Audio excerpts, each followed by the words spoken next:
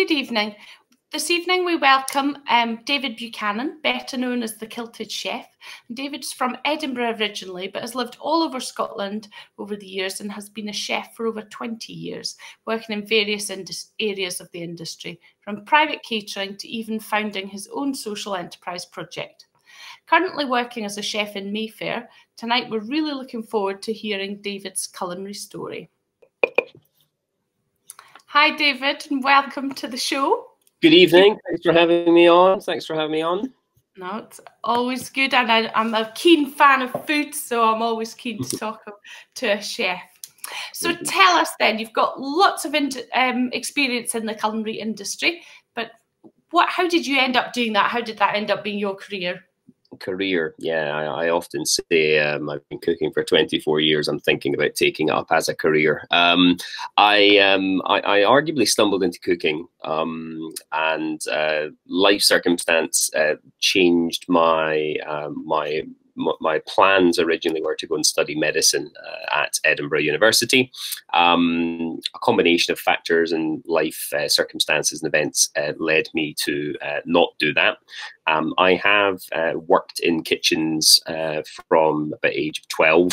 Um, I managed to lie my way into my first kitchen when I was 12, turning 13. And um, a couple of weeks after I'd started on my 13th birthday, the chef uh, found out I wasn't just turning 16.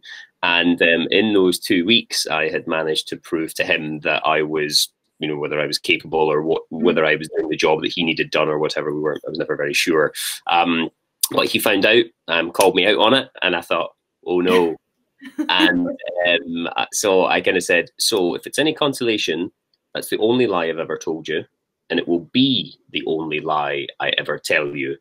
And um, he basically kind of um, put his arm around me, uh, became uh, maybe a, a, mentor, stroke, uh, father type figure, and um, he said, look, you know, you come to me, you work with me, I, I do the wages and the rotas and the scheduling, you work under me, you follow me all the time and, you know, stick in with me and I'll do you right. And arguably that's uh, where we kind of started. And um, here I am some 24 years later, um, currently sitting in a, in a nice hotel in Mayfair working for, uh, uh, working for a, a, wealthy royal client who has a, um, I would normally say second property, but they probably got about 20. So another another one of their homes here in London. And um, just because of the current COVID situations in different parts of the world where they would normally travel for work and for business and things, um, they have decided to kind of batten down their hatches in London um, because it makes uh, makes more sense for them. Um, so here I am, um, kind of uh, on a little uh, COVID jolly, um, hand sanitizing everything I touch and um, enjoying uh, uh, what is his a really uh, bizarre uh, situation because London is so so quiet. Um, at the moment, uh, when you're used to the, the, the normal hustle and bustle, it's a bit crazy. Um, so I guess my journey has been from not studying medicine to kind of defaulting to, to cooking and to chefing, which is quite a quite a common uh, thing within the industry. You ask a, a hundred school children who wants to be a chef, you'll probably not find any hands up. But statistically, probably about 40 or 50% of them will eventually have a job in hospitality at some stage in their lives, even if it's just working in a bar or serving tables or something whilst they're at university. So um, I never regret having not studied medicine. I know lots of friends who studied medicine who don't particularly enjoy lots of elements of their lives, not necessarily their jobs, but because of the the unsociable hours and the, the stresses and strains and all of that kind of stuff. Um, so I've always said that I, I don't uh, I don't regret anything I've done. I if I did it again, I'd still do it. I'd maybe just do it in a different order. Mm-hmm. Yeah, Good. And so you've you've worked loads of different roles. So tell us a bit more about all the different things that you've done and what what have you really liked doing? What's been the most rewarding for you, the most fun? Um, I, I, think in, in terms of the industry being a chef, um, I think that um, jobs offer you um, lots of different opportunities. And it can be the case that um, because I started working really young to a very high standard, I started working in a, in a hotel kitchen which had two rosettes, two AA rosettes, which is kind of halfway towards a Michelin star. So, it, it, and, and 24 years ago, it was a very, very good marker of quality and, and sort of the caliber of the chefs and, you know, the, the caliber of the produce. And it was more local and it was better and all of that kind of thing.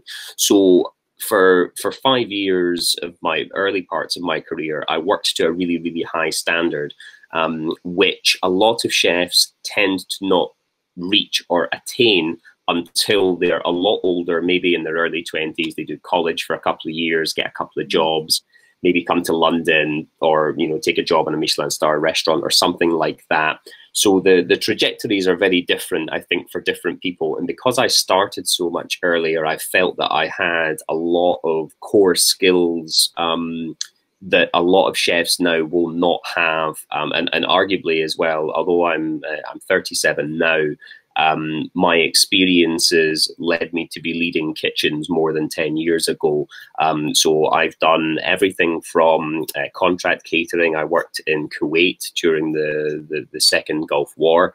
Um, I used to manage, uh, I was head chef on a military base kitchen there, and we did 35,000 meals a day. So every six hours, 24 7, 365, you're doing sort of somewhere between eight and a half and 9,000 uh, troops. Um, and, you know, the volume is just so vast, it, it, it's virtually impossible to convey it. And not only to, not only to do the, the, actual cooking part of the job, which is, as you can imagine, by way of volume, hard enough. Um, you know, we actually had to build the kitchen from nothing, you know. And I remember one of the early conversations I had with a guy who was an engineer of some sort. And then he said, Oh, what do you need? And I said, Well, you know, some sort of a structure. And he said, Good job. Yeah, walls. Okay. And I thought, Okay. and, then, and then he goes, Well, we go for a roof. And I was like, Yeah, we kind of need a roof. And he was like, Good job, roof. And I was like, And then a floor. And he was like, Floor. Got it. And he was making notes. And I was thinking, What the heck is guy going to build for me if I don't really give him like the whole thing? Yeah. So, um, and at that stage, I was only about 19 or 20. So um, it was a, a, baptism of fire. But in my head, I've always had a, a, great grasp of figures and numbers and whatnot. And my argument was always, you know, I've worked in kitchens where I've been producing, you know, you know, top two rosette start standard food, probably for maybe 30, 40 people in an evening. I've done weddings for a couple of hundred, doing banqueting in hotels. Um, but I have done big numbered uh, businesses by way of UK or indeed of Scottish standards. So 12 1,200, 1,600 lunches and dinners is a walk in the park to me because I'm used to doing eight and a half or 9,000 every six hours. So I had all these kind of skill sets that are quite unique, um, even within chefs. Um, you know, you'll tend to find someone who can do contract catering, someone that can do Michelin, somebody who can do yachts, someone that can do private houses but there are very, very few of us who can kind of jump in and out of them all and sort of alter our skill sets and, and uh, our abilities and um, and whatnot uh, in real time. Um, so I think the opportunities of each job are very much down to uh, the the caliber of the person and what you want and what you need from a job. So when you're younger, you're prepared to take a much lower salary, for example, because the opportunity that you might well be gaining in terms of the experience, building your network, etc., can be a much greater reward for you than just you know an extra few hundred pounds in the bank at the end of the month, which arguably you probably don't have much time to spend because you're spending all your time at work. So it's only, I guess, as I've gotten older and spent longer in the industry, um, I see the opportunities from a completely different perspective. Um, I'm very lucky that I've worked very very hard over the years to get to where I am, and I always feel that uh, you, your your hard work is always rewarded in this industry. Um, anybody who says otherwise, I, I, I think is is uh, is probably not working hard enough, uh, generally speaking. Um, so I'm lucky enough, and fortunate enough to have worked hard, earned good money, um, traveled the world very extensively, 70 something countries at last count. Um, and arguably, being a Buchanan and being sort of staunchly Scottish, I, I, I bought and served and cooked food across the world. Um, and I, I come back to Scottish produce every single time, whether it's Scottish textiles, um, you know, the rich heritage that we have in, in, in, Scotland for manufacturing and, you know, everything from whiskey to gin. You know, Scotland had a really rich rum heritage. Mm -hmm. um, I, I kind of have a, a, very globalized view of things um, because you know everybody in the, the modern world, rum is kind of getting a bit of a kind of craft revival. It's going to be the new yeah. craft gin, and and uh, everyone's like, oh, craft gin in Glasgow, that's new. And you think, well, actually, no, and um, we've been making rum in Glasgow for years because we used to have a sugar industry. But then, arguably, when slavery was abolished, you know, the it was easier to grow sugar beet than cane, and you know, and so all these parts of history, if you actually look at almost every element of history, there's a very, very rich uh, food and drink heritage there, which I find fascinating because um, I find uh, history actually quite a, a boring subject. But maybe because it was taught to me by somebody who wasn't particularly invigorating. Um, so uh, I always think later on in my years, maybe I'll go and do the family tree and, and, and that kind of thing and, and, and learn a little bit more about the, the practicalities. But sadly, in my world, on both sides of my family, um, whereas Scottish is as far back as paper uh, begins. And um, I have one, um, my oldest and uh, most uh, recently uh, deceased uh, grandparent. Uh, she was from Wetherby in Yorkshire. Other than that, I've got no story. Whereas in the world I'm in, I meet people that have Panamanian, Venezuelan, um, St. Lucian, London, Spanish, Lebanese, Canadian, and I'm like, good job, you know. Uh, and, and, I've, and I've met them in Wales or somewhere really obscure, you know. And um, I always think that's quite funny. Um, but inevitably, we get talking about Scotch whiskey and, and Scottish food, and often I'm wearing my kilt or or or or, um, or something. I always have my uh, my my uh, my Harris tweed wallet, and then I normally tell them the story of the herring bone and then the the, the, the salmon and all that kind of stuff, you know. So I could bore everybody for hours on all sorts of things, but uh, I need people like you to tell me to stop talking and ask the next question. no, not at all. I'm intrigued. It's so interesting, and I think that that whole heritage thing, you saying you, you you might go and explore that. And I think it does come to you with age, doesn't it? When you're younger, you don't necessarily appreciate where you came from. And it's not until you go away and travel a bit and you realize that actually you live in a great place and you've been really lucky and that you yeah. have all this history and heritage to fall back on. Yeah, I mean, seven. I, I think I've, one of my friends uh, has a daughter, and uh, we sat and counted the countries that I'd been to. Um, uh, arguably not because I can remember them, but uh, she would name them, and then I would say yes or no, and then she would tick them or cross them. And uh, I think we got to about seventy-two or something at one point, and I've probably done a few more since we did that task. And um, I, I, think that um, being lucky to travel with work. Um, it's a very, very different thing. Everyone thinks, oh, it must be amazing being in Saint Tropez or in or Dubai. Oh yeah, it's smashing. Yeah, yeah, it's smashing. You're trapped on a you're trapped on a metal uh, in a in a metal box that moves, um, and you get to see Saint Tropez. Oh yeah, it's smashing. You know, you know you might as well at least when you're at home yes you don't necessarily have um, you don't necessarily have the views of Saint Tropez but you do have freedom. Uh, you can walk wherever you want to and you, well up until about March you could have gone wherever you wanted whenever you wanted. Um, so it's a different world now I suppose. Um, but uh, I think that's uh, that's just a perspective thing. And uh, I think uh, the older you get the more you kind of realize that you know what? Money isn't uh, money and things aren't that important and being happy is more important. And I think that the I think the world is changing. Thankfully, um, I think it's uh, it's very tough. I think for people of my generation because we came from no internet to internet to mobile phones to arguably now onto 5G devices where where we've never been as well connected but arguably never been so disconnected from the realities of life. You know, um, I love watching YouTube videos of uh, like young teenagers trying to use an old dial-up phone. Uh, to get a cassette into a cassette player and giving them a pencil to wind the tape back in, you know, like that stuff just fascinates me because obviously I, have got the benefit of having done it all, but uh, I just like to think that um, maybe one day I'll have children and I'll I'll be able to laugh at them uh, when uh, when they can't figure out how to I don't know how to work a CD player or something because I guess yeah. we're migrating even away from that sort of technology now as well. You know.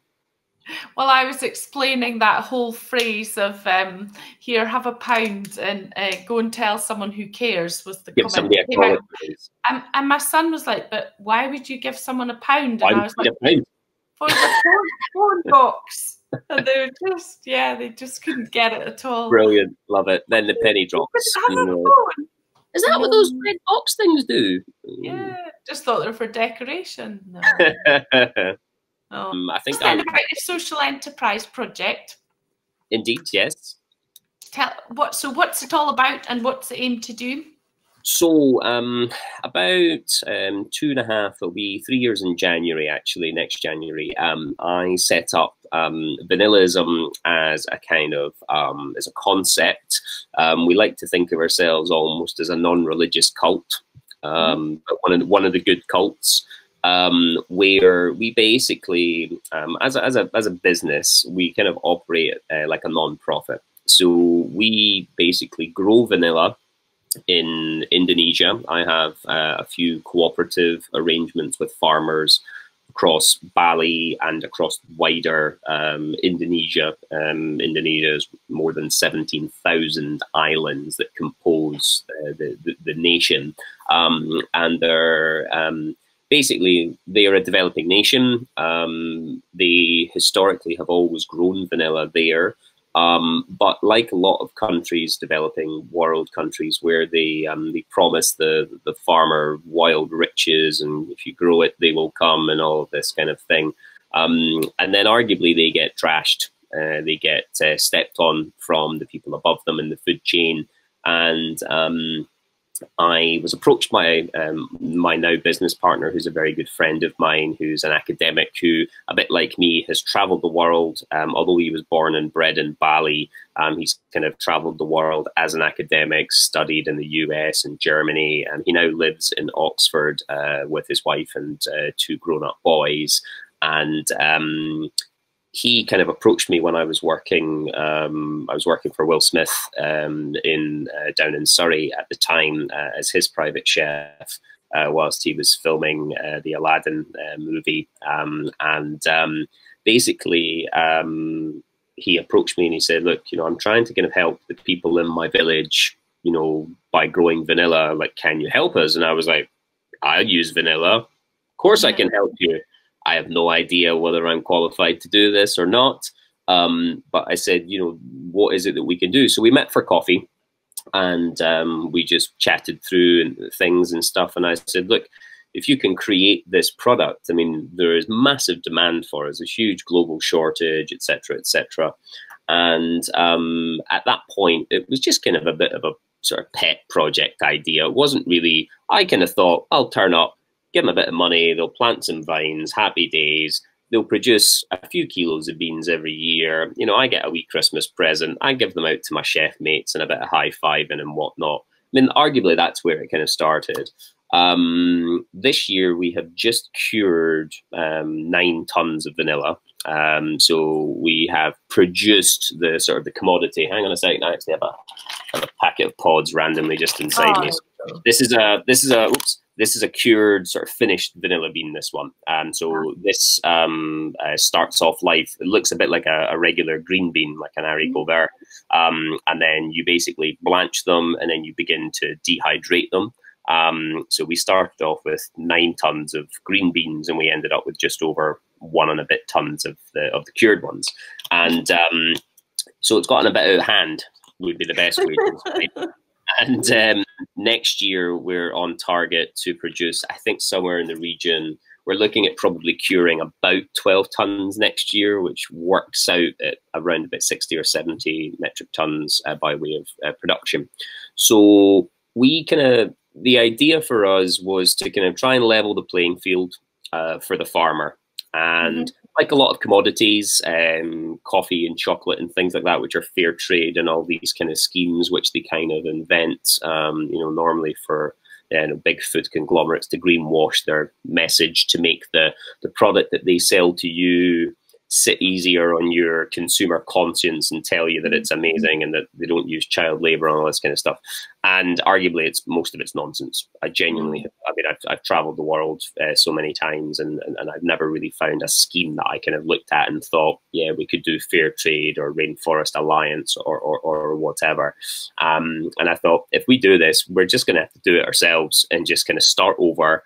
Um, explain to people what we're doing, why we're doing it. Um, And basically, everybody that's involved in commodity trading just needs a small commission, right? So, you know, you either you grow the beans, you sell the beans, the guy who buys them, cures them, he gets, you know, he makes 20 pence a kilo, and, and so it gets passed on the food chain.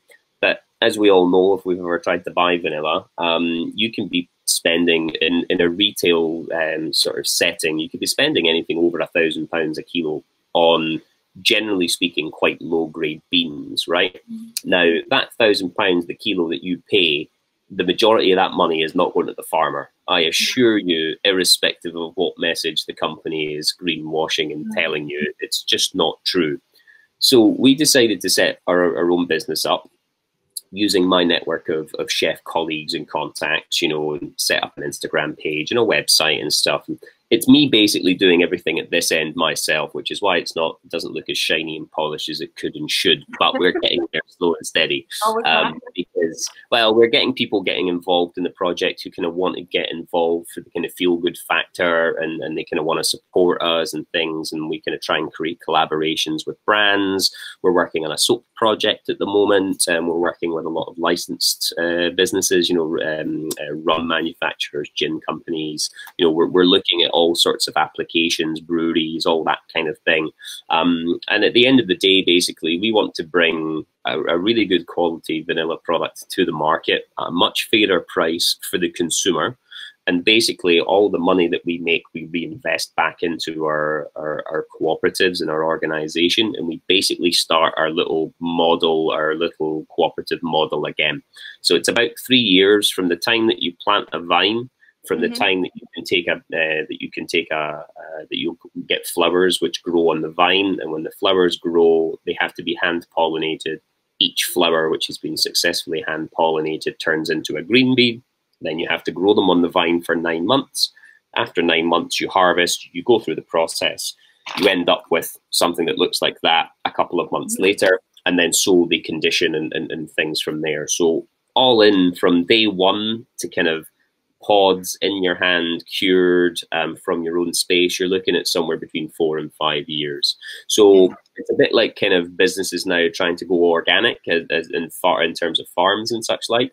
In that you've got to be able to leave the land for two, three, four years before you yeah. can get certified and stuff, which is a massive, massive operational cost for, for, for people to not make any money, right? So I kind of saw the the organic farming structure here in the UK being very similar to Bali um, albeit we have the, the Western wealth and riches, but you know, in, in Bali we don't have that. But we do have happiness, we have hard work, we have great people, um, but they, you know, they don't have great education, they don't have many opportunities. And you know, I, I always kind of have believed in the adage for years, kind of growing up in the UK and living, having lived in rural Scotland and stuff. You know, you saw comic relief and children in need, and you know, you kind of, uh, you know, you wanted to donate money to, you know, to to charities and things. And I, have done, done that for nearly 30 years, you know, more than 30 years, and kind of thought, what actually happens? Because, yeah. you know, I know that I maybe, I'm maybe not giving enough, but, you know, arguably I've been giving away for 30 years. And if anything, it's actually gotten worse this problem of homelessness and, and, charities needing money and all of this kind of thing and arguably most charities and uh, ngos and such like are fulfilling parts of uh, society whether it's offering support and counseling to people who need it who haven't had as children or maybe didn't have the opportunities to learn and develop the skills. So, you know, people are trying to kind of put back in.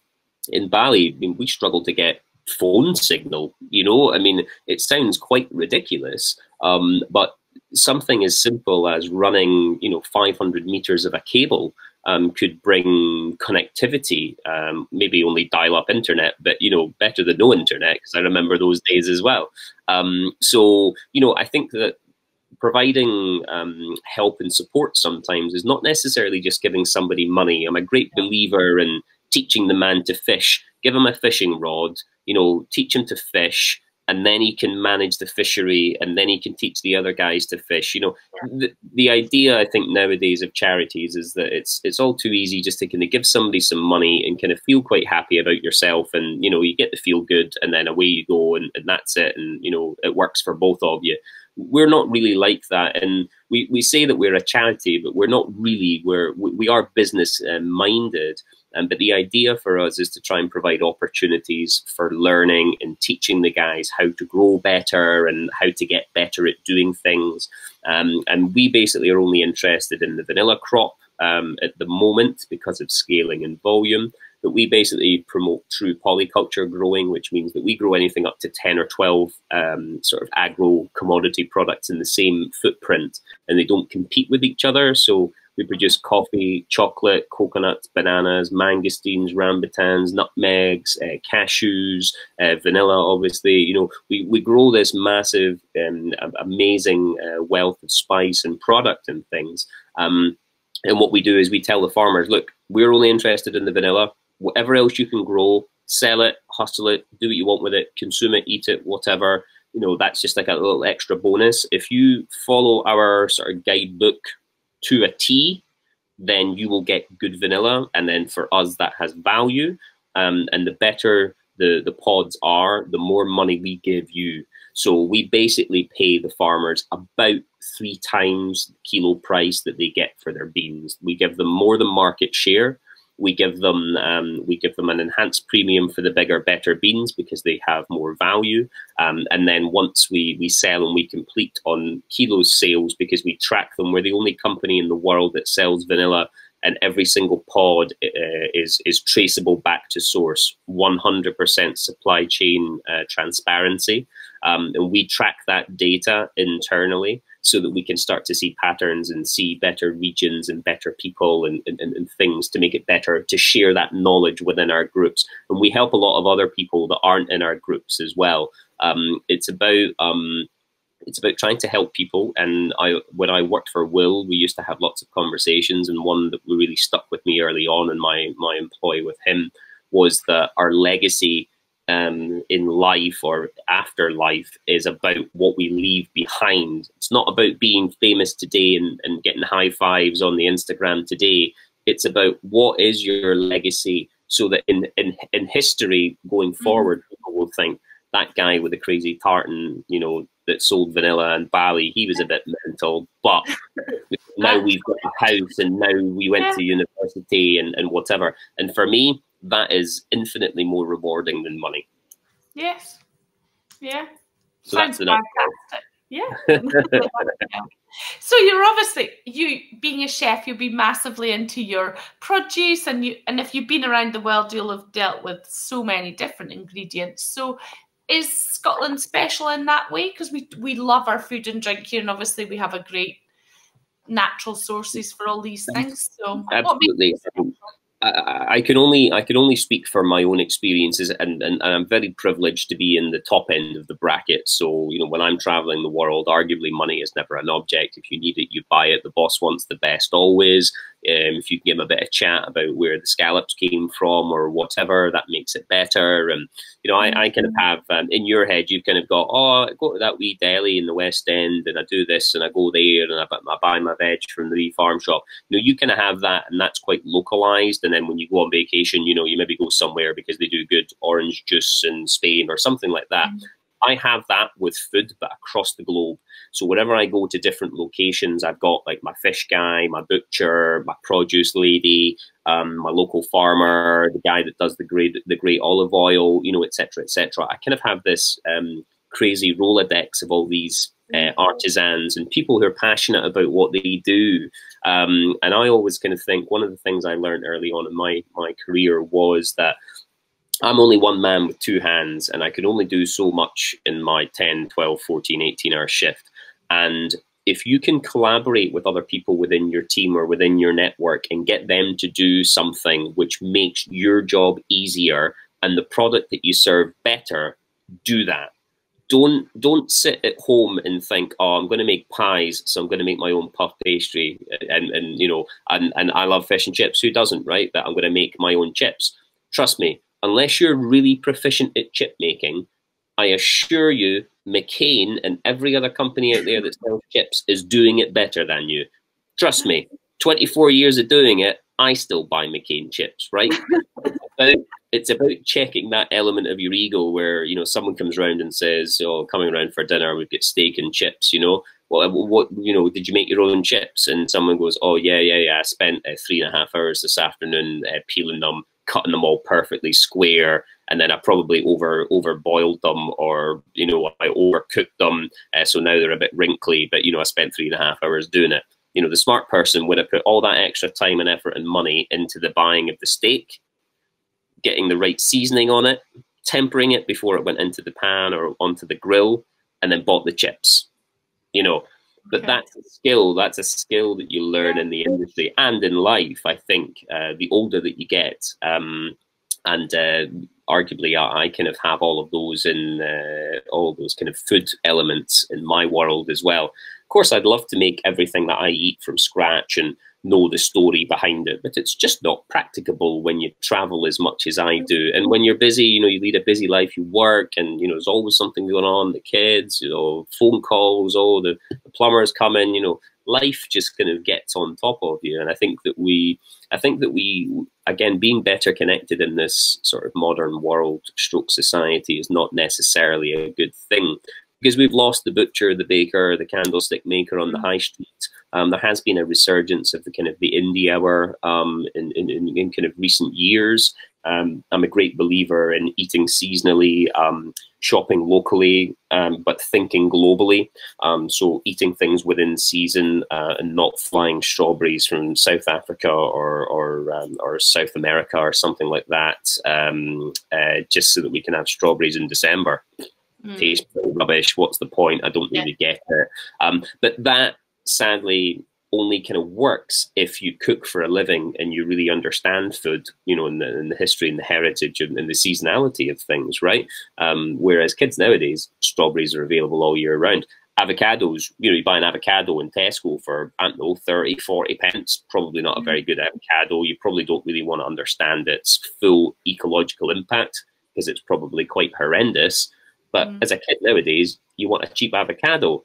I didn't eat much avocado, I don't think, until I was about 20 because I spent nearly seven years cooking before I tried my first avocado because they were blooming expensive. They were about six or seven yeah. quid each when I yeah. when I first started cooking.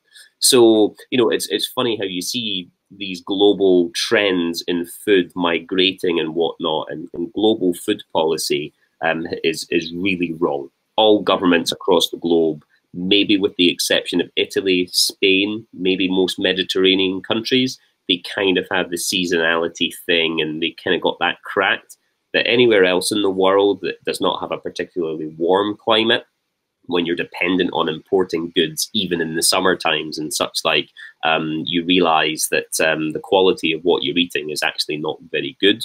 Um, and, and, Scottish produce is amongst some of the best in the world, if not the best in the world. We need to be more frank about, you know, and be a bit more honest about what we eat, uh, what its impact is. It's vast. Um, most people have no concept now that chicken nuggets or something come from a farm. You know, they you ask kids now where does meat come from, they say Tesco's. So you know, I mean, they, they, they have no they have no real concept of uh, of farming, agriculture, or anything like that.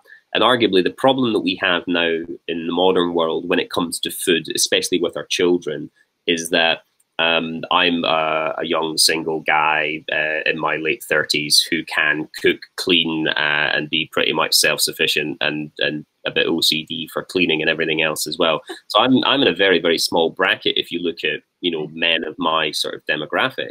Um, and people who are not in my demographic, i.e., those who can't cook and you know have to buy you know pre-mashed potatoes in the supermarkets and such like, those people are having children.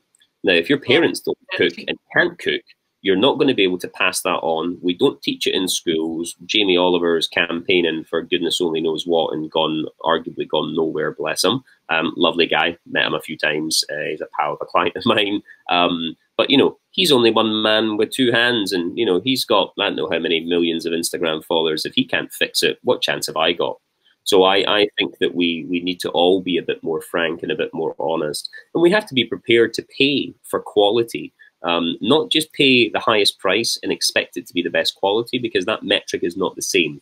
You know, people always ask me, go to the supermarket or go to the deli, go to the store, what's the best carrot chef? And I always say the freshest one.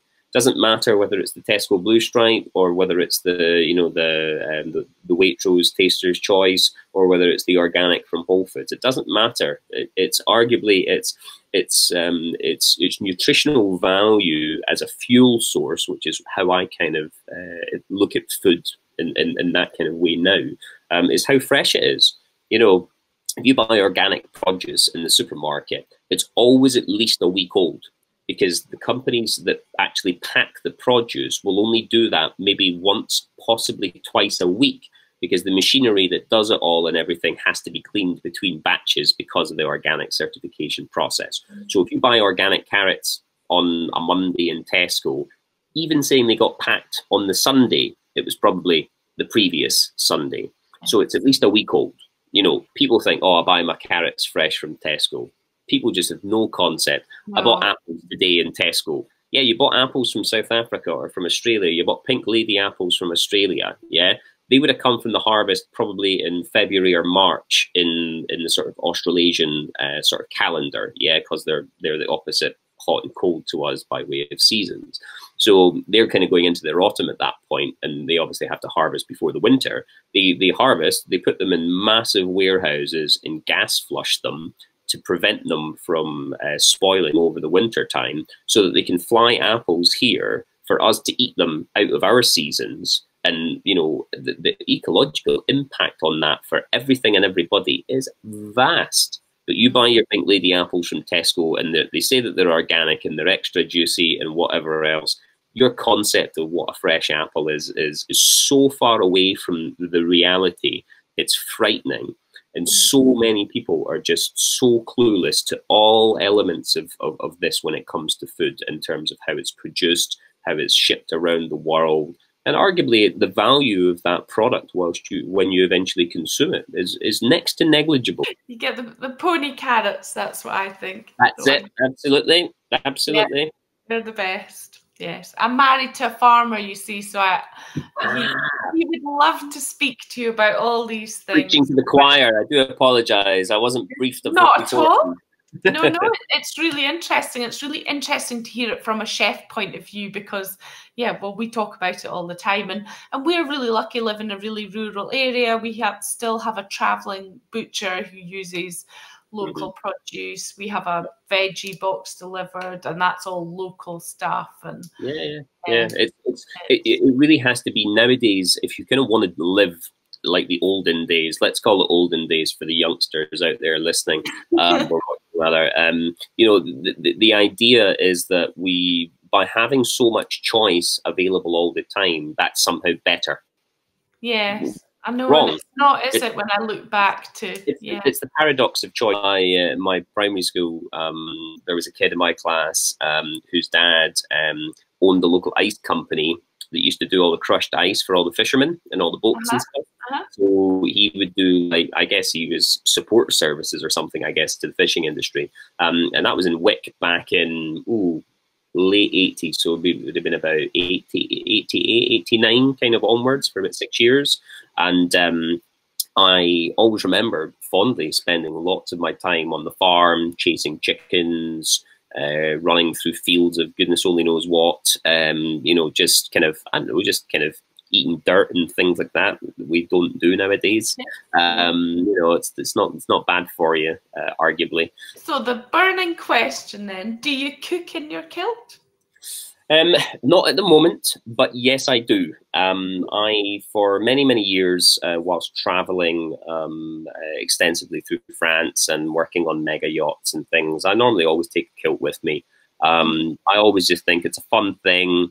Um, it starts conversations uh, with people who you maybe wouldn't, probably wouldn't ordinarily speak to you, or maybe wouldn't want to approach you. Uh, I normally have the big dark panda eyes, kind of falling asleep, drinking an espresso or something like that. That's kind of my normal travel look. Um, that's when I'm on holiday, so you can imagine what I'm like when I'm working. um, but uh, I think that um, I think it's a great sort of talking uh, talking point, a good focal yeah. point for people. Um, and inevitably, um, inevitably, uh, people always want to know what you're wearing underneath.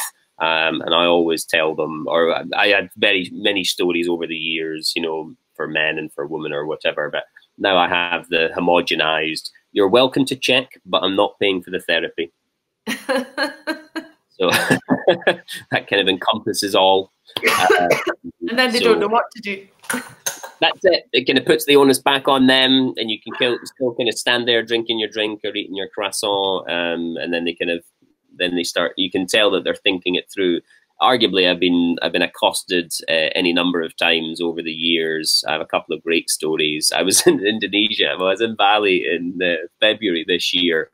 Really good friend of mine likes a whiskey, uh, who's a mate of a mate of somebody that knew me oh, come and have a beer. All right, no problem. Went for a beer. Oh, we're going to this thing. We're going to this live music thing. You've got to come. I'm like, sure, whatever. Um, so turns up at some club in the middle of nowhere. Um, and it's like outdoors, indoors, and big music stage. Proper, like a proper big stage, right? Um, like an audience, maybe like 600 people, right? My mate's in the middle of it all. And I'm like, hey, high fiving. And so I'm wearing my kilt because he told me to gets there and he goes, "All right, let's let's go this way." So he starts leading me away from where the music was, and he leads me backstage. And as it turns out, he's the manager for all these bands, right? And he knows everybody, and he's like totally the guy, right? And I'm just in the background going, "Hello, uh, wearing my kilt, just as you do." And I, I was sat and blethered away to this guy who I didn't know from Adam, but being Scottish, and I chat to everybody, blethering away. He's drinking whiskey, I'm drinking whiskey. We're having a great night. Um, I'm quite bemused with the whole thing. Everybody wants a picture with me. Great, no problems. And I'm just sat there, quite as you like, talking to who I assumed was his girlfriend, but I didn't actually, never actually ask. I was chatting away to her, and just at one point, he just lifted my kilt and flashed me to the entire room. And, I, and you know that way where you're not, well, maybe you don't know, but you're not really that wary because everything's quite light and airy anyway, generally. And then it was even more airy, and I didn't know what was going on. And uh, I kind of turned around, and I kind of turned around, and the entire room of people was just aghast, and I was like, "What are they all? Oh!" And then, uh, yeah. So um, that that night, um, somebody else exposed me probably to about 40 or 50 people. Um, thankfully, we weren't on stage because it probably would have happened there in front of everybody. Um, but yeah, now I'm the guy um, that wears the kilt but doesn't wear anything underneath it. Famous. So is it a Buchanan kilt then? Um, so yeah, that was my that's my chef Buchanan uh, kilt. So I um, I designed my tartan uh, about three years ago, I think now two and a half, maybe three years ago, and um, went through the process and and um, everything from thread count to colours and things. That every part of the of the chef Buchanan tartan, which is obviously protected, it's registered with uh, the Tartan Authority. Um, it is um, it's kind of there um, uh, I guess for kind of posterity. Um, it's protected so it can't be used um, it can't be used for uh, by other companies without my express written permission. So when you create tartans and you register them, either they are sort of a public tartan which can be used, or you take the private box and if they want to they have to have your permission. And that's basically the route that we went down. Um, because i already noticed that uh, there were let's let's leave let's leave them nameless. Um, but a shameless group um, had actually been advertising my tartan for sale uh, on their website um, to all and sundry. Uh, and I, I made a very angry phone call to somebody probably getting paid minimum wage who didn't deserve to have to get me on the phone that day.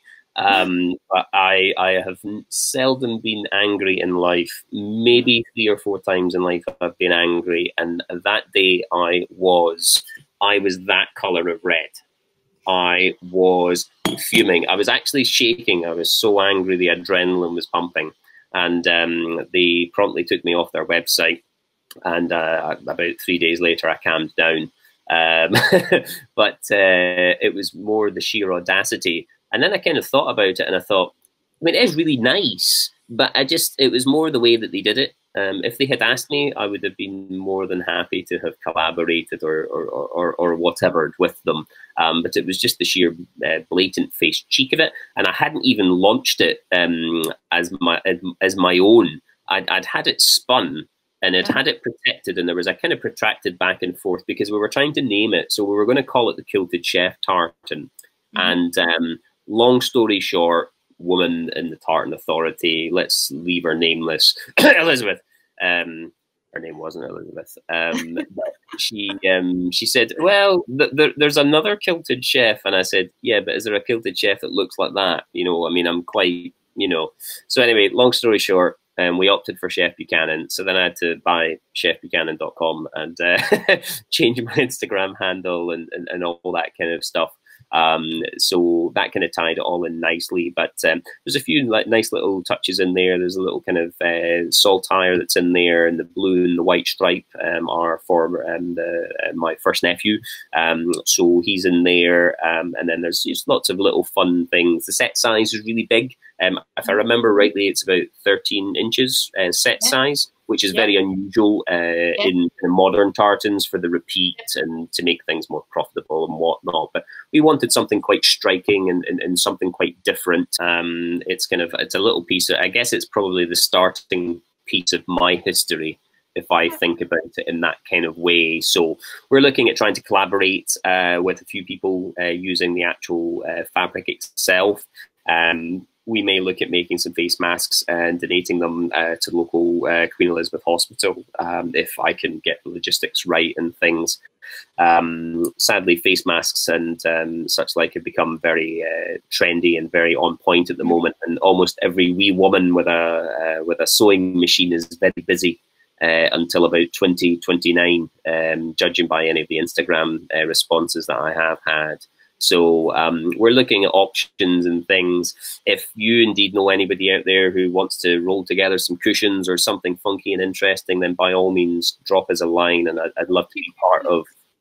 Yeah, I'd love to be part of a part of a collaboration or a story, or you know, allow somebody the opportunity to to kind of tell the Chef Buchanan uh, history or the story of something to do with vanillaism or something like that. I think that the I always believed in the three degrees of separation um, sort of concept. And then having traveled the world, I've literally been to the back end of nowhere and met someone who knows somebody that I know. And I'm just thinking, it's not three degrees, it's quite literally one degree of separation and that's excluding social media and Facebook and things. Because I, because I travel so much, I go to all these crazy places all over the world, and oh yeah, you know John, and you know, oh you know Steve, and before you know it, you've got mates all over the place, and you, you know everyone has a lovely time. So it's one of the great things about the yachting industry and about being in uh, being in my world.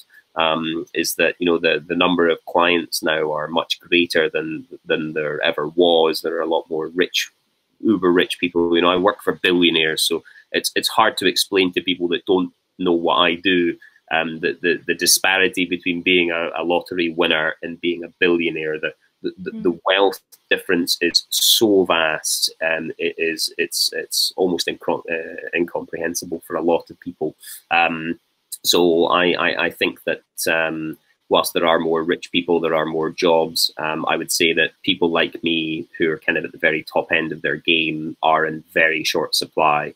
Um, if, if it was a pyramid, I mean, I would be in the very, very top um, percentile, not because I'm good, but because I'm expensive. So again, the, the cost value matrix has to be. The two go together. Well, and I, I, do like to accept compliments now because for about 20 something years I was incapable of, of doing so. Um, but um, nowadays I think um, I understand that uh, that it's all about the team and it's about it's as much about people like your husband um, going out there and doing that because if he's not doing that, what I do on the plate is virtually mm. impossible. And and I think that the the, the provenance of, of, of, what we eat and how we eat it and, and whatnot nowadays, I think is is uh, is only going to become more and more important. And do you see yourself continuing to travel and be all around the world, or do you think you're going to come? Ooh. I'm going to come back home to Scotland, or the burning the burning question. So the house that I or the flat that I have in Glasgow, um, I've owned for ten years, and I've lived in it for about going on three, we think. Um, uh-huh. Lived in France for three years, lived in Qatar for three years, um, and then traveled the world for another year out of that. Um, I think that my plans at the moment are to look at downsizing my world. Um, I am looking to sell my house in Glasgow, and um, I'm looking to kind of realign my world and assets and things. Um, the getting my house sold. Once my house has been sold, I'm going to get a dog because I believe that that will make me have to commit to a, a more regular life stroke world. Yeah, um, and um, my my next plan and project, which will eventually be video blogged and everything, time lapsed and whatnot, is I'm looking at building uh, a tiny house uh, trailer type project to live in, um, which can move, um, which I will travel um, the UK possibly the wider world. Originally, the idea was to build something and drive it to Bali. That was the original plan, but COVID is kind of kiboshed that. So what we're doing is we're building accommodations in the village in Bali, and then here um, we're going to build the tiny house. And what we're actually going to do is build this little tiny house, which can basically be a portable, towable restaurant. And what we're going to do is take it around little tours um, of different parts of the UK um, maybe we'll go and do like the North Coast 500, something like that. Do like two or three weeks doing that, um, stopping there for a couple of days, moving on to the next place, meeting the local farmer, the local fisherman, whatever local beers, breweries, products, whatever. Yep. Creating nice little kind of food and drink experiences. Everything's kind of du jour. Everything is just within, you know, as, as small a radius of where we currently are. Um, so park up and use the use the natural beauty of the view that you have as the kind of the backdrop. Um, quick, simple food. It will just basically be me havering garbage to you whilst I prepare and serve you different courses, get you well libated as well, um, and then yeah, kind of kick you out and um, a little kind of self-contained sort of six, eight cover restaurant that we can take around and, and, and use, um, you know, use as a kind of teaching space, you know, maybe teach some kids in some local schools during the daytime and maybe drag their parents in in the evenings, that kind of thing. Um, and I think the idea for me is to kind of try and uh, alleviate um, almost all financial pressures and burdens um, I, am going to be mortgage free by the time I build this uh, this house stroke business, which can also be let out as an Airbnb and stuff. Um, it's going to be all the eco credentials, so it's going to run on solar power, um, uh, lithium batteries. Um, you know, it's all going to be kind of built to the highest eco standards. Um, it's going to be timber construction. I'm going to try and do a lot of the build myself. Um, the aim eventually maybe is to is to kind of uh, maybe to try and sell them as a kind of business, as a revenue stream, perhaps. Um, so that's kind of what my future, uh, my near future holds. Yeah. I'm currently held hostage here in Mayfair um, because apparently I do really good um, cinnamon rolls um, as per breakfast today, and my banana bread, which we started because we were wasting a lot of bananas, um, has been getting massive plaudits, both from all of the children in the house, some of the staff, um, some of the visitors and contractors, um, the reception staff in my hotel that I'm staying in, they seem to get an overspill. Um, they poured some scones and some cream earlier. Um, yesterday they got some leftover macarons. Um, the day before they got some brownies and some gingerbread loaf. Um, so I just kind of go through this perpetual baking state mm-hmm. where I make a cake and I have to make a big enough cake to make a cake and it's got to look good on the pedestal or on the plate or the platter. And inevitably, you know, I don't have that many guests in the house, but you can't kind of put out a third of a cake. It looks quite miserable. So you got to put the whole cake out and then you of bring it down the next day and you redress it and you can move it about a wee bit and put fresh berries on the top and a wee bit of whatever. And, you know, the second day you can dust with icing sugar because now it looks different and fresher. Um, and then day three, it goes in the garbage or it goes to staff, it goes to whoever um, and then we replenish it and replace it with something else. And inevitably, you make gingerbread, they ask for banana loaf. You make brownies, they ask for banana loaf. Whatever way you do it, it will always be wrong. So you just kind of suck it up and uh, say, absolutely, you can have that tomorrow. Um, always try and play for time. And if you can do it later in the day, then perfect. Um, but yeah, that's kind of um, that's kind of uh, that's kind of what I've been up to um, in the, for the last month. Uh, I'm probably here for another month. Um, uh, sort of uh, keeping myself busy here in London, um, networking with a lot of chefs. Um, I think we, uh, I think we're on this kind of cusp at the moment where we all really kind of need to pull together. And and, and, and it, you know, during lockdown um, in the earlier days, um, I was just kind of you know cooking for friends and neighbours. My next door neighbour, the glamorous Pamela, Um, she's a, she's a key worker. She works in telecoms, so she's helping keep your phones all working and all these big systems of you know government businesses and organizations and all that kind of stuff. So um, uh, I was doing a lot of cooking at home, doing that little videos for the Instagram, taking requests from friends, um, making cakes and all sorts of things, and then divvying them up to neighbours and, and all sorts. Um, and then I was uh, I baked um, for the Queen Elizabeth um, Hospital in Glasgow and Govan. Um, I was just doing like cakes and bakes and things every other week. Um, a friend of mine uh, from my yoga class, um, her sister was kind of like managing like a kind of breakout room for staff and colleagues and stuff. So I was just baking some cakes and things at home, and she was delivering them and all that kind of thing. So just kind of trying to pay it forward, try and help others who are possibly less fortunate. Um, you know, I think that um, I've always been a great believer in stopping and giving people your time. Um, you know, saying hello. Um, you know, if you can help somebody, then I always try and do my best to to to, to help somebody. Um, if, it's in my remit, if it's in my time scale and, and, and things. Um, I'm mindful that you know I'm not always able to do everything that I would like to, but I always kind of like to think that if I kind of make some extra time and try and help somebody today, donate some scones to my uh, hotel reception staff, bit of morale boosting down there. Um, you know, I think it's just, I think it's the kind of kindness that has been lost from the world. You're different. You're, you're a farmer's wife, so you know you, you're you're you're I, here. I don't know why I'm talking about scone making whilst you're sat there. No, you should no, be uh, no, no. You should, you should be offering a tutorial or something. I think we maybe we're going to need to do a little cook along together.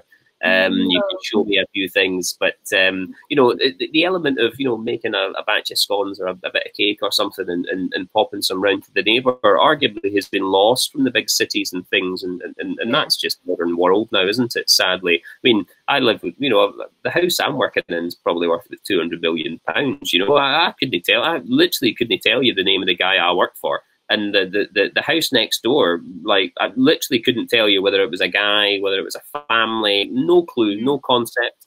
But again, in the modern world, sometimes that works for these kinds of people. They value their privacy. Um, they don't want to. Um, they don't want to be seen to be seen. You know, they just they, they, they like their privacy. They like the time to themselves and their families, and you know their priorities are uh, are, are, are lovely to see. Um, you know, um, so for me. It's been a been a fascinating uh, lockdown, um, beginning, end, and all that kind of stuff. I've been home chilling. I've literally done. I've not done as little as this in a calendar year, probably cumulatively in the last six or seven years, as I've not done this year. Um, so it's allowed me to focus on things. You know, we did a lot of vanillism, activism at the early part of lockdown, giving out um, free vanilla to people. Just be like, on Instagram, like, oh, hey, saw you were making some cakes. You look like a student. You know, you want some free vanilla? Here, give it a go. And that's basically what we did. Um, you know, we had orders um, stacked up and ready to go, yachts in the Mediterranean season, just kind of leaving shipyards, getting ready to go and pick up guests, and everything kind of got cancelled. So I ended up stuck with, you know, a few kilos of vanilla that I purposely bought for clients to a spec which then they're bigger and better than every other, you know, nobody else wants the pods that size because they're so expensive. So, you know, I kind of ended up kind of snookered a wee bit and I just thought, you know what, start punting it out. So I started doing that and we managed to develop a, a little kind of cult following. Um, I think eventually our torch paper will be lit, hopefully, um, sort of Christmas, New Year time this year. We're hoping to maybe do a little crowdfunder, maybe do some uh, some crowdfunding sort of rewards. So pods for a pound, that sort of thing. If you if you donate some money, and we'll we'll, we'll reinvest that into the village um, to build some uh, accommodations, which we'll use as kind of Airbnb properties um, for for visitors to the to the vanillism jungle, to the orchards. Um, and then you'll get some vanilla for free. Um, and then we're kind of looking to try and uh, just do a little fun collaborations, you know. Good. Well, thank you very much. I think we've covered a whole range of subjects I never expected to cover. It's been really fantastic. Thank you. Indeed, thanks for uh, thanks for having me on. Um, happy for anyone to get in touch on the old uh, Chef Buchanan Instagram if you have any burning questions on yeah. how to design your own tartan or anything uh, anything else. Feel free to give us a give us a follow. I'm I'm quite active on socials. I'm quite responsive on socials. I'd like to think um. I'm not like deluged with uh, tartan inquiries, but you never know.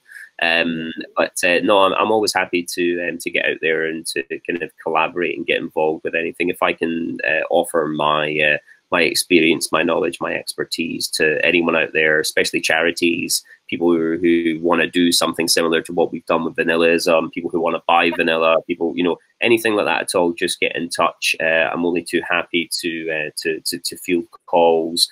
Um, Instagram's probably the easiest way just to reach out to me. Um, but other than that, I look forward to following. Uh, it's the whole month we're doing Clan Buchanan, correct? Yes, that's correct. We're celebrating the whole month. Yeah, the whole of October. Good, so good. thanks for your time. Have a have a great month. You too. See you later.